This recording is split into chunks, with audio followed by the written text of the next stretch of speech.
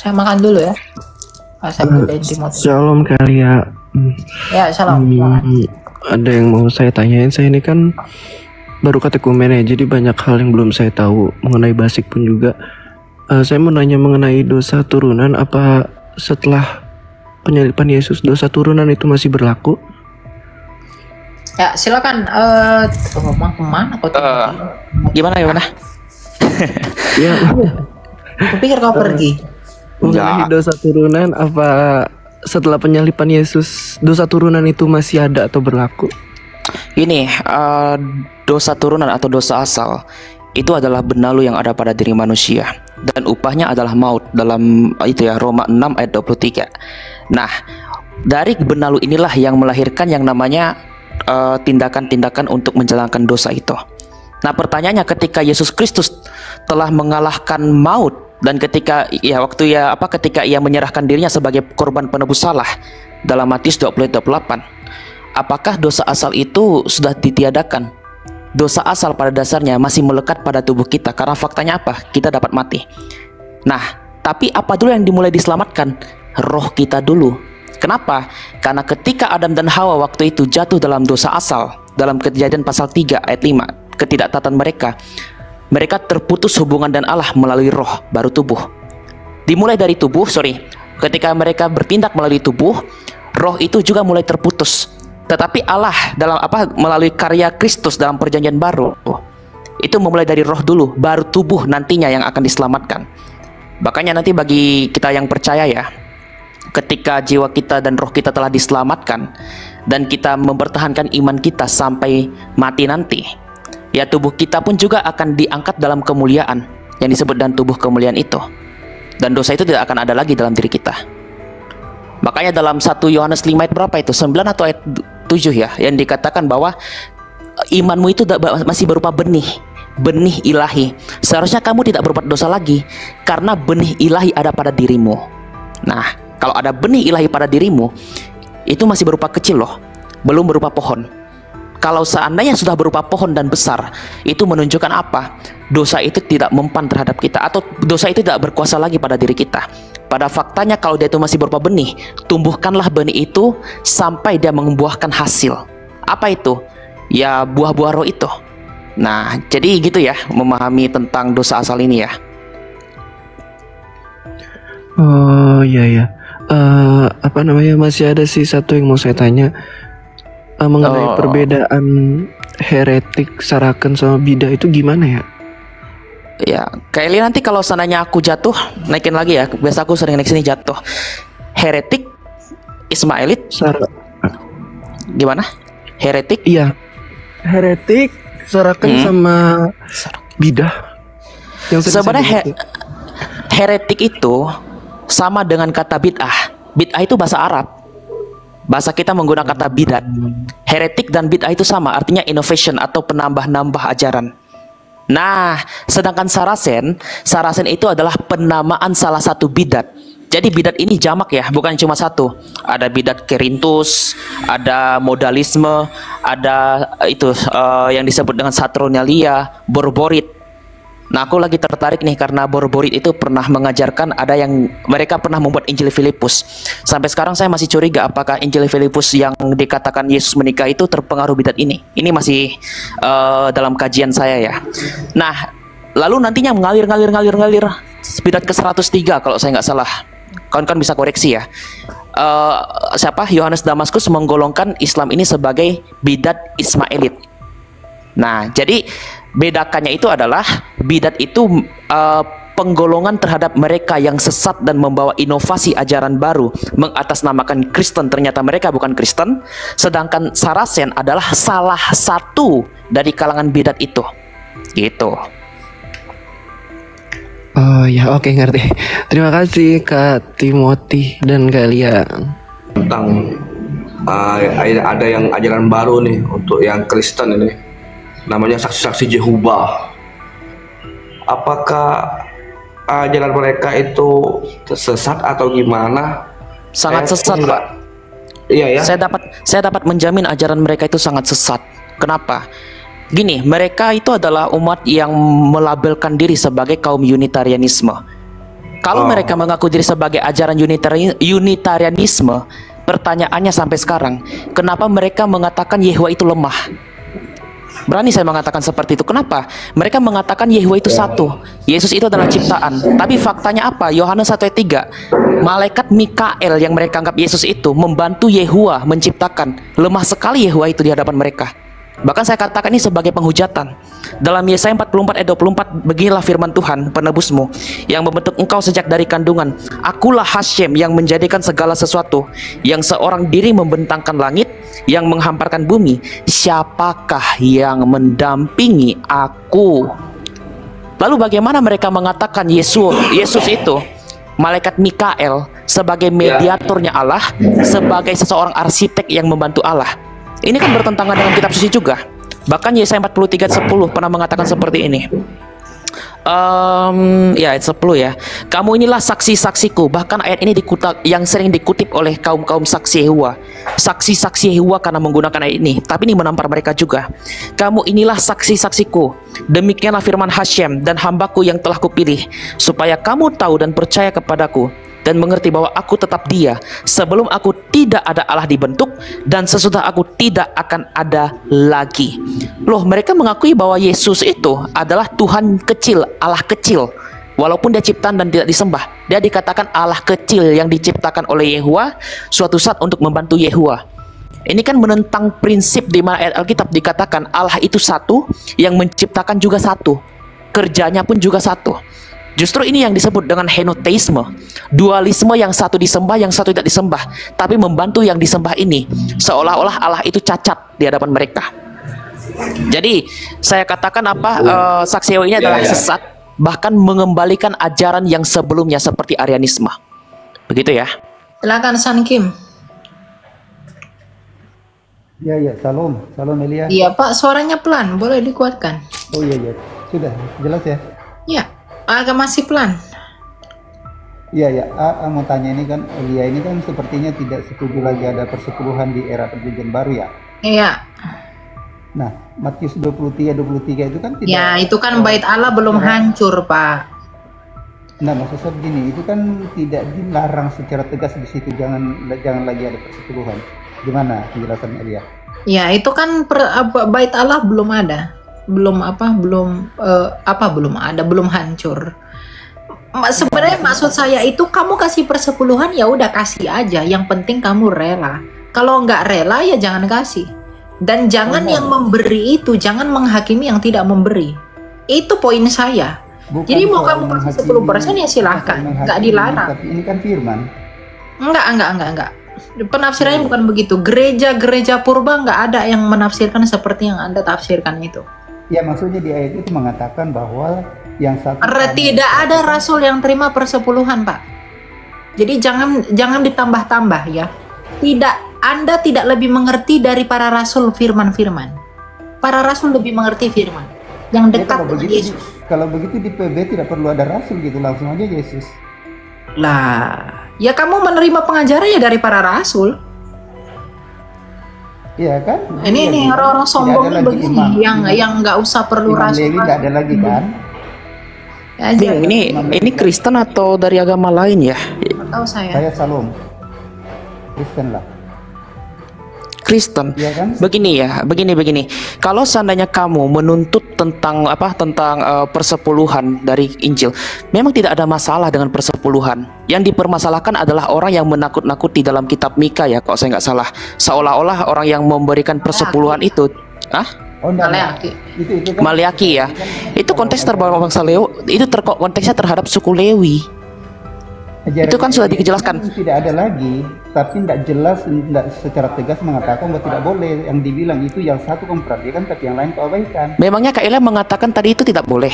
Kak Elia sudah jelaskan bahwa dia tidak pernah menentang yang namanya persepuluhan. Yang ditentang adalah Beberapa ketika memaksakan itu. pembahasannya itu seakan-akan doktrinnya itu tidak Ah, udah Pak tidurlah kau Pak ke rumahmu kau tidur. Tidur aja Pak sana. Ambil ambil selimutmu ya. Pakai AC di rumah biar nggak kepanasan kau. Kau tidak ngerti apa yang kusampaikan.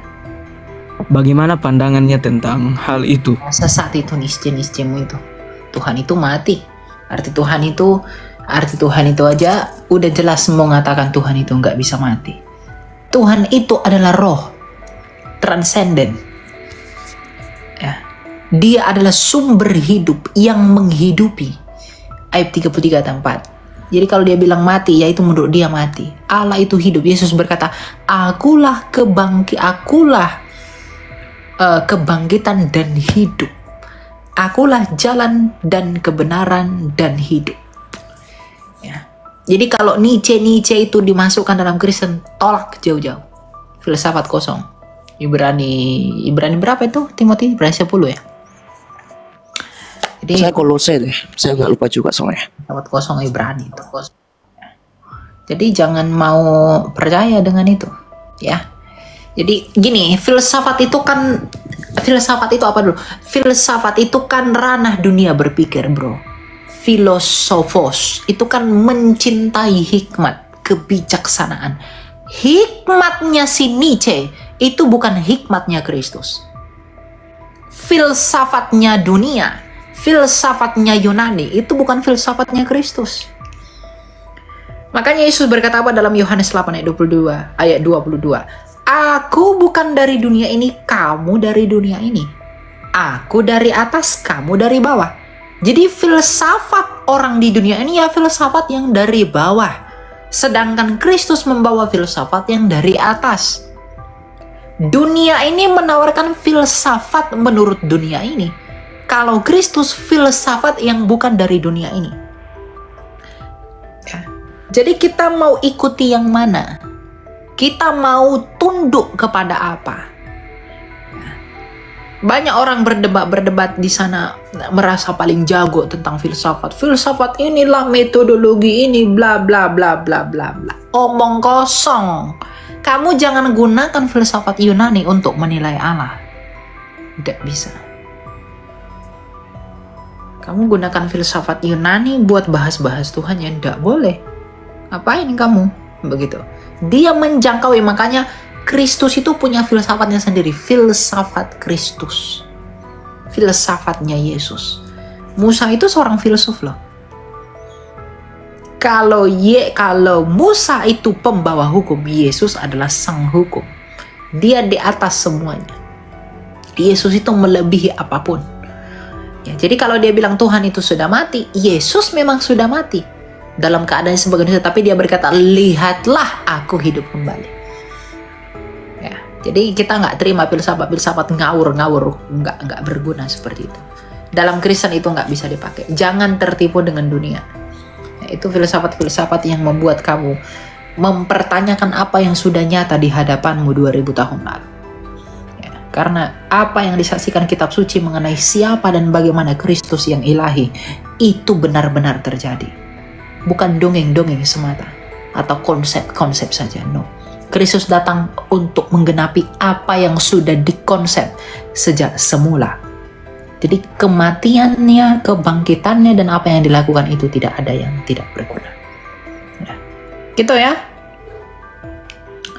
Iya kak, baik. Iya.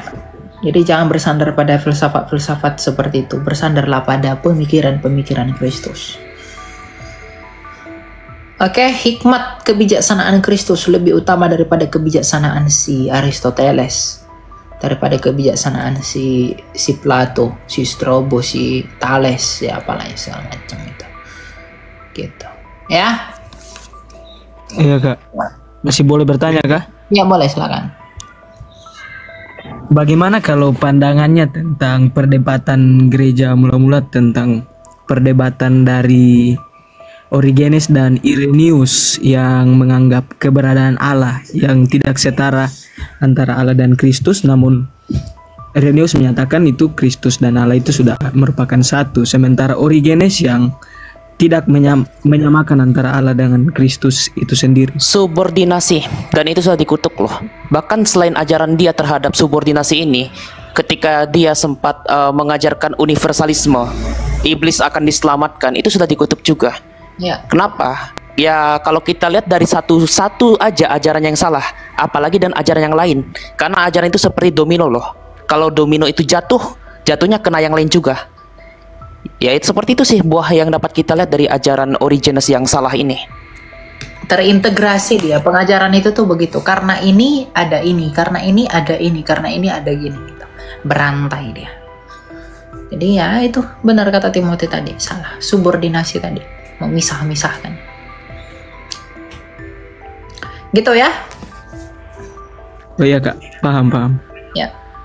Ada lagi yang mau kamu tanya Cukup, saya cukup. cukup ya oke Tuhan berkati eh, bagaimana eh, teologi Kristen memandang apa doktrin eskatologi itu menurut Kak Elia gimana ya? ya gimana Timothy eskatologi silakan Teologi apa ya? Eh, eklesia ya terkait gereja. Betul nggak? Zaman Oh, Eklesiologi itu gereja, kalau apa Eskatologi eskatologi akhir akhir zaman. Dia nanya. akhir zaman kalau nggak salah itu. oh ya kalau ekle- eklesiologi beda dengan eskatologi ya. Eskatologi tentang akhir zaman. Apa yang dipertanyakan dalam hal itu? Jangan Apa yang terlalu di- umum, Pak. Yang spesifik. Doktrinnya maksudnya itu eh, di Alkitab kan mengajarkan apa ya di di Kitab Wahyu kalau nggak salah itu kalau secara harafiah saya belum apa mencoba eh, melakukan studi hermeneutik di Kitab Wahyu itu eh, ada yang mengatakan kalau eh, manusia itu yang masuk surga sekitar 1440 berapa gitu 144 ribu orang. Ah, itu maksud saya. Nah, terus apakah eh, manusia-manusia lainnya itu akan dimusnahkan? Nah, jadi di sini kita bisa menyimpulkan kalau memang hal itu benar-benar terjadi, berarti Tuhan jahat dong. Nah, Seperti itu. itu ya itu hanya kesimpulan yang dipakai sebenarnya terinspirasi dari saksi Yehova juga ya. Karena tadi juga sempat menyinggung saksi Yehova tapi dia tidak melihat baca ayat selanjutnya. Dikatakan aku melihat se apa serumpunan orang yang tak terhitung jumlahnya. Itu berbeda loh kubunya dengan 1444 orang itu. Kenapa? Karena yang dikaitkan hal itu adalah keturunan dari 12 suku Israel mereka adalah orang yang diutamakan. Kenapa? Dalam Matius 15 dikatakan bahwa aku datang untuk bangsa Israel.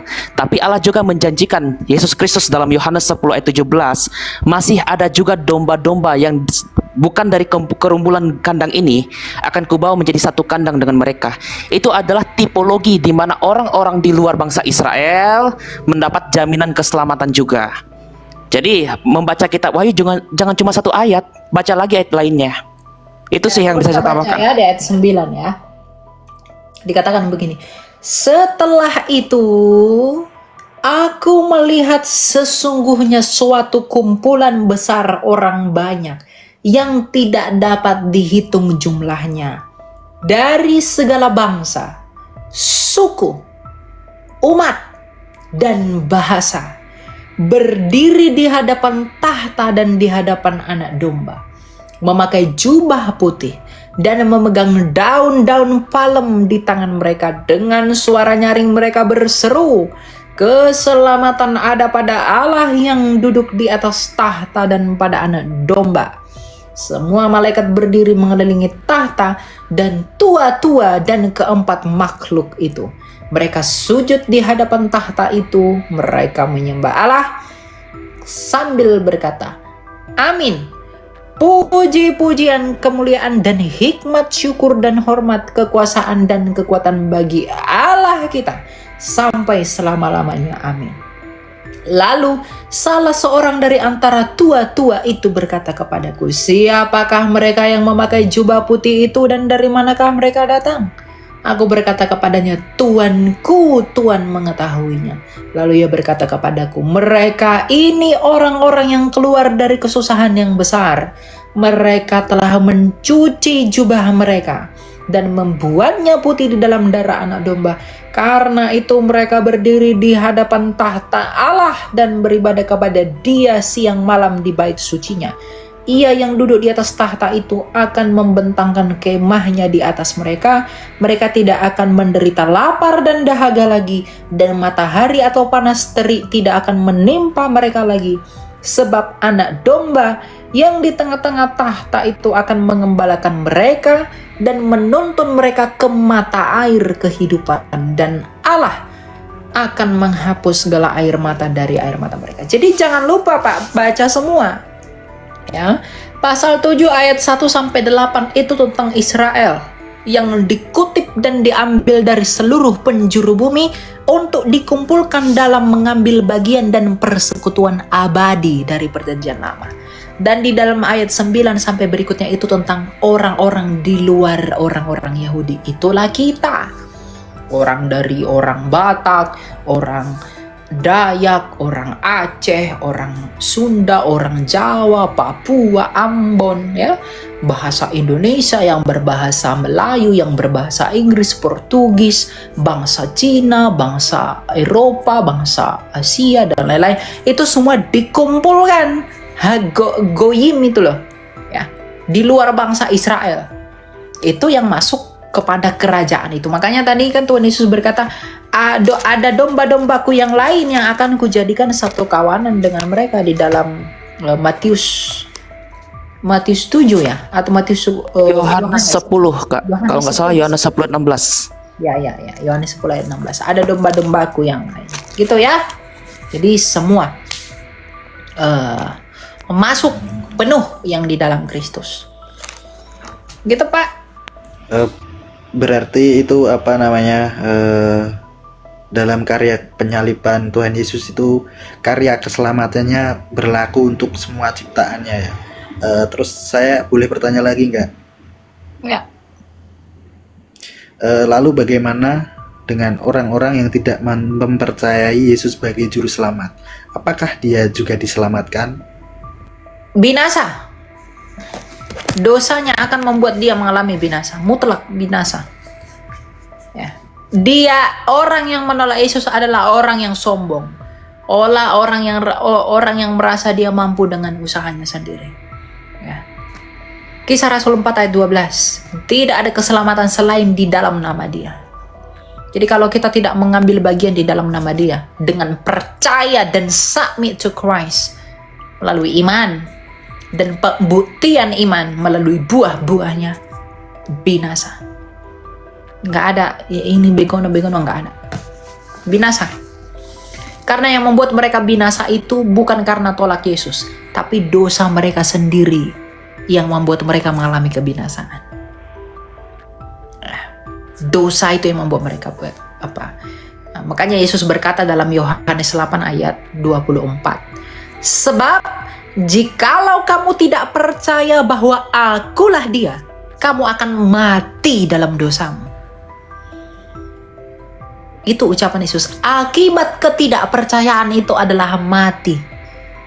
Itu Yesus sendiri yang ngomong. Bukan saya. Ya. Bukan malaikat. Bukan si Timothy. Ya. Yesus berkata, kalau kamu tidak percaya bahwa akulah dia, kamu akan mati dalam dosamu. Titik. Jangan kau tambah, jangan kau kurang. Ya, jadi orang di luar Yesus mutlak binasa, mati. Gitu, Pak.